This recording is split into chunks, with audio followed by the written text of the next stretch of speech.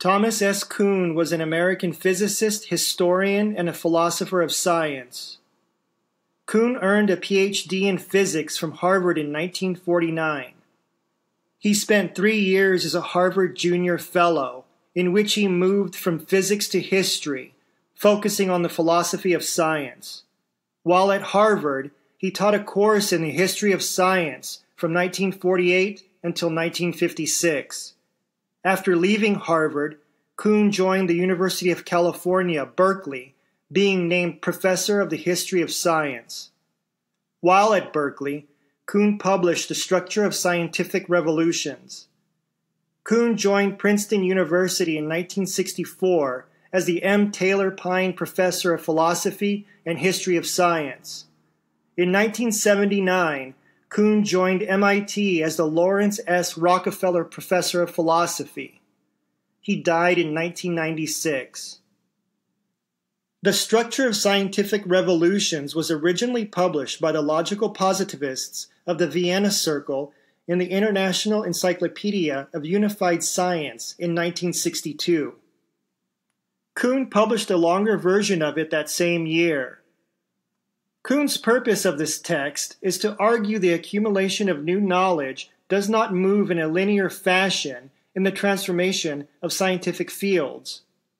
He states If science is the constellation of facts, theories, and methods collected in current texts, then scientists are the men who, successfully or not, have striven to contribute one or another element to that particular constellation. Kuhn continues scientific development becomes the piecemeal process by which these items have been added, singly and in combination, to the ever growing stockpile that constitutes scientific technique and knowledge. Since Kuhn is approaching this topic as a historian, he claims that, as a historian, he has two tasks. The first task is to determine by what man and at what point in time each contemporary scientific fact, law, and theory was discovered. The other task is to describe and explain the congeries of error, myth, and superstition that have inhabited the more rapid accumulation of the constituents of the modern science text. Citing Alexandre Koyré's work in the area of writing on the history and philosophy of science, which, according to Kuhn, indicates the possibility of a new image of science. Kuhn asserts that the goal of his text is to delineate that image by making explicit some of the new historiography's implication. Normal science, the activity in which most scientists inevitably spend almost all of their time, is predicated on the assumption that the scientific community knows what the world is like, he states. Kuhn further asserts normal science, for example, often suppresses fundamental novelties because they are necessarily subversive of its basic commitments. Normal science, according to Kuhn, means research firmly based upon one or more past scientific achievements that some particular scientific community acknowledges for a time as supplying the foundation for its further practice. He uses the term paradigm, which is a particular set of concepts, theories, methods, and standards that practitioners use to validate contributions to a field, to describe the structure in which normal science thrives in solving puzzles. Prior to the existence of a paradigm, a pre paradigm exists where individuals' activities and experiments are not guided by a well defined paradigm. The pre paradigm period, in particular, is regularly marked by frequent and deep debates over legitimate methods, problems, and standards of solution, though these serve rather to define schools than to produce agreement, he states. Kuhn says, when the individual scientist can take a paradigm for granted, he need no longer, in his major works, attempt to build his field anew, starting from the principles and justifying the use of each concept introduced that can be left up to the writer of textbooks. Once a paradigm is established, scientists working in it follow rules, methods, and create models in which to learn from and apply in given situations. He says, Normal science does not aim at novelties of fact or theory and, when successful, finds none. Kuhn continues Discovery commences with the awareness of anomaly. For example, with the recognition that nature has somehow violated the paradigm induced expectations that govern normal science.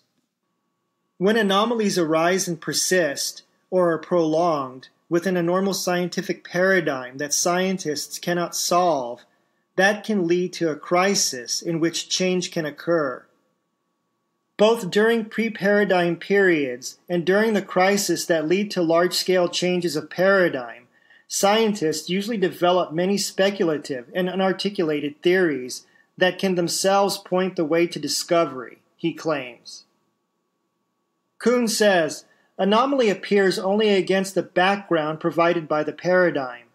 The more precise and far reaching that paradigm is, the more sensitive an indicator it provides of anomaly and hints of an occasion or paradigm change.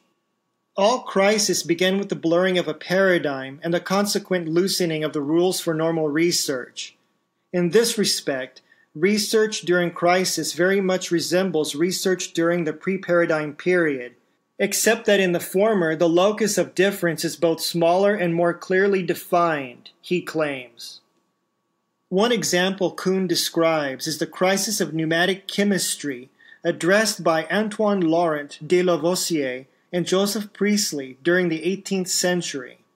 Other paradigm shifts were started with Newton and Einstein but took years to be accepted.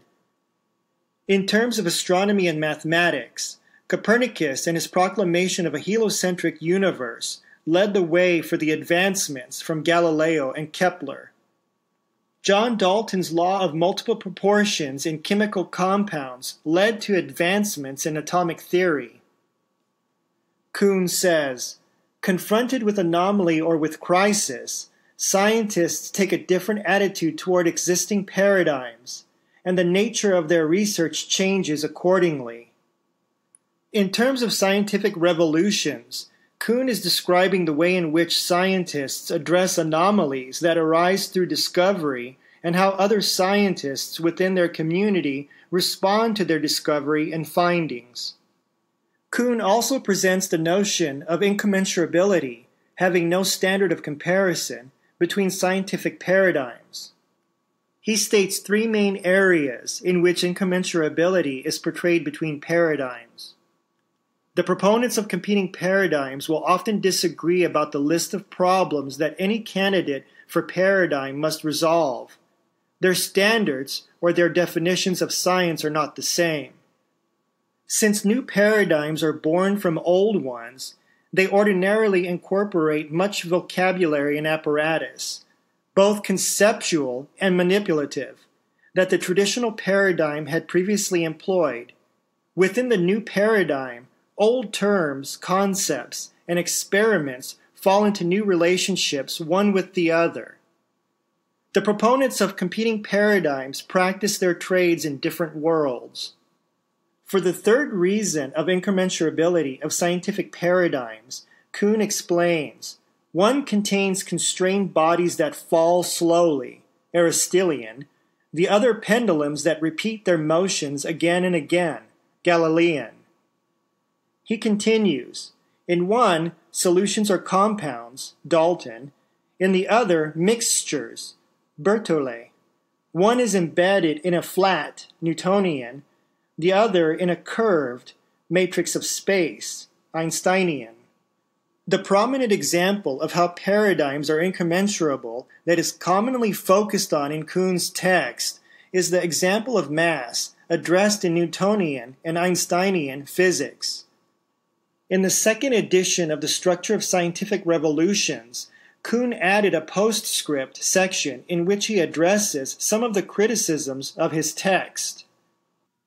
Kuhn states that the description of the transition from the pre to the post paradigm in the development of a scientific field provided in Chapter 2, The Route to Normal Science, deserves fuller discussion especially in the area concerned with the development of the contemporary social sciences.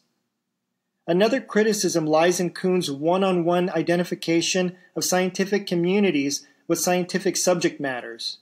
He defends his position on this matter, stating, A paradigm governs, in the first instance, not a subject matter, but rather a group of practitioners.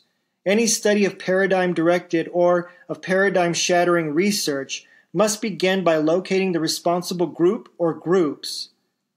Some critics have doubted whether crisis, the common awareness that something has gone wrong, precedes revolution so invariably, as Kuhn shows in his text.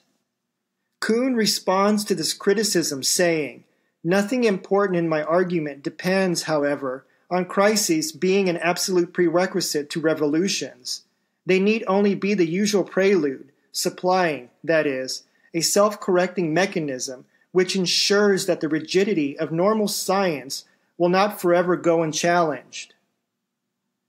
Margaret Masterson, a British linguist and philosopher, identified at least 22 different ways in which Kuhn used the term paradigm.